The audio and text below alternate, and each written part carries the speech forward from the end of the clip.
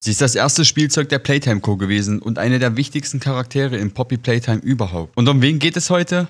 Richtig, um Poppy, unsere kleine rothaarige Freundin, die nur ein Ziel verfolgt und um sie soll sich das ganze Video heute drehen. Denn Poppy ist nicht nur irgendeine Puppe, sondern etwas ganz Besonderes. Join doch gerne unseren Discord, um keine News mehr zu verpassen, mit uns zu quatschen oder dich mit anderen über Theorien und vieles mehr auszutauschen. Schauen wir uns also Poppy doch erstmal näher an. Poppy ist eine kleine 60 cm große Puppe mit roten gelockten Haar, das zu zwei Zöpfen gebunden ist und mit puderblauen Bändern hochgehalten wird. Poppy hat ein sehr helles, schon ins Weiße gehende Gesicht, das durch seinen Glanz vermuten lässt, dass sie aus Porzellan ist. Poppy hat Sommersprossen, rosige Wangen, blutunterlaufene und unheimlich realistische große blaue Augen, recht dünne Augenbrauen und schwarze lange Wimpern. Außerdem trägt sie einen tiefroten Lippenstift. Poppy trägt ein sehr voluminöses blaues Kleid mit zahlreichen Schleifen, das mit Rüschen und Büsten verziert ist. Und dazu trägt sie ein paar schwarze Mary Janes. Nach dem Zugunglück im Chapter 2 hat Poppy einen Riss in ihrem Gesicht. Poppy ist also eine recht typische zierliche Anziehpuppe mit besonderen Eigenschaften. Poppys Charakter. Schauen wir uns hierfür aber erstmal den Werbetrailer für Poppy an.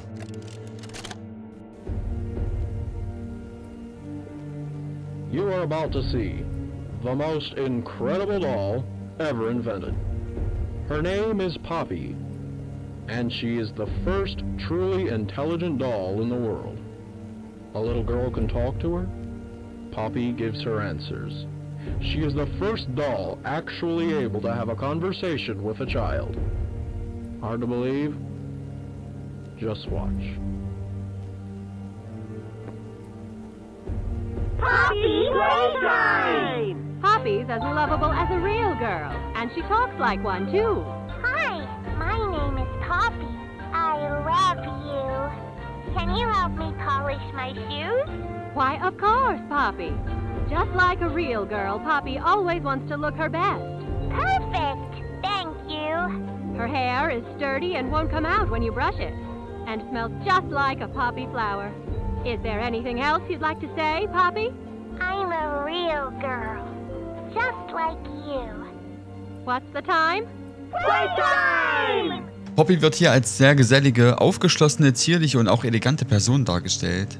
Sie legt sehr viel Wert auf ihr Äußeres und möchte immer gut aussehen. Poppy ist in ihrem Werbespot auch sehr höflich und fragt ihr auch sehr höflich nach, ob ihr Besitzer ihr nicht die Schuhe putzen oder ihre Haare bürsten möchte. Poppy behält allgemein ihre Persönlichkeit aus ihrer kommerziellen Form bei. Anfangs überschüttet sie uns mit ihrer fürsorglichen Persönlichkeit und bedankt sich für ihre Befreiung. Sie wartet geduldig auf uns, während sie durch die Lüftungsschächte klettert und bietet uns, wer hätte es gedacht, ihre Hilfe an, um aus der Fabrik zu entkommen. Ihr Verhalten ändert sich aber gegen Ende von Kapitel 2 in eine eher düstere Form und fängt an, beunruhigende Fragen zu stellen, die auf ihre düstere Persönlichkeit auch hindeuten. Erst später wird enthüllt, was Poppys Motive sind. Außerdem hat sie eine gute Bindung zu Kissy Missy.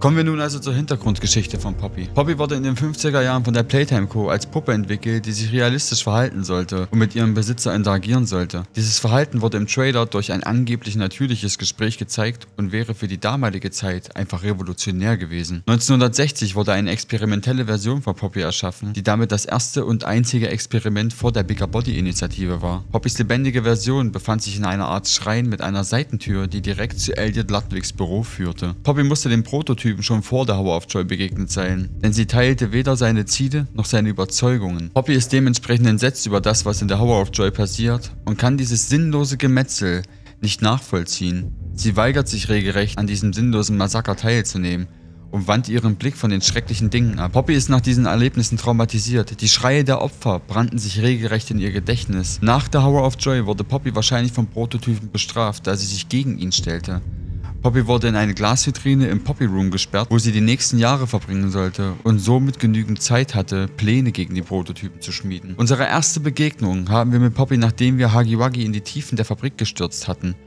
Nachdem Poppy befreit wurde, fallen wir in Ohnmacht und hören Poppys Stimme, was bestätigt, dass Poppy endlich aus ihrem Gefängnis befreit wurde. Poppy weckt uns mit Nachdruck auf und erklärt uns kurze Zeit später, dass sie nur den Strom anschalten wollte. Sie erwähnt außerdem, dass sie schon sehr lange in dieser Box gefangen war und froh ist, wieder frei zu sein. Poppy zeigt hier ihre eher freundliche Persönlichkeit und bietet an, die Flucht aus der Fabrik zu unterstützen, indem sie uns einen Zugangscode für den Zug geben will. Poppy wird kurz danach von Mami Longlegs entführt und Chapter 2 beginnt. Poppy sitzt später im Kontrollraum, gefangen in Spinnenweben und mit dem letzten Teil des Codes in der Hand. Man merkt nach ihrer Befreiung Prophezeiung direkt, dass etwas nicht stimmt, denn ihre Persönlichkeit switcht zu einer eher düsteren Form. Alleine die kalte Frage, ob Mami nun tot sei, zeigt, dass diese Entführung nicht spurlos an ihr vorbeigegangen ist. Poppy hat einen Plan, denn sie hatte viel Zeit zum Nachdenken und Reflektieren.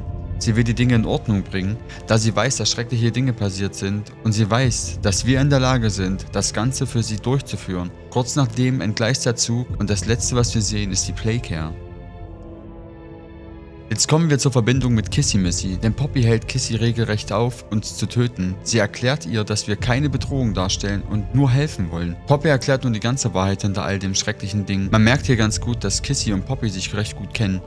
Denn in der Kindertagesstätte sieht man einige Zeichnungen von Kissy und Poppy. Die beiden scheinen in ihrer menschlichen Gestalt gute Freunde gewesen zu sein. Zumindest sieht man hier eine Verbindung zwischen den beiden. Poppy scheint auch Kissy in ihrem Plan involviert zu haben, denn Kissy hilft ihr die ganze Zeit über bis zum Ende von Chapter 3.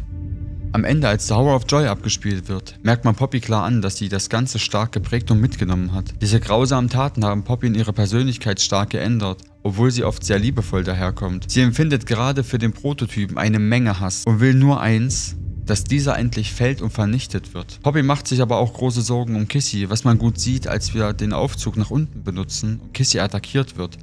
Poppy will ihr helfen, aber dazu kommt es nicht mehr. Und in Poppys Schreien nach Kissy spürt man den Schmerz, den sie verspürt, da sie nicht noch mehr Freunde verlieren will.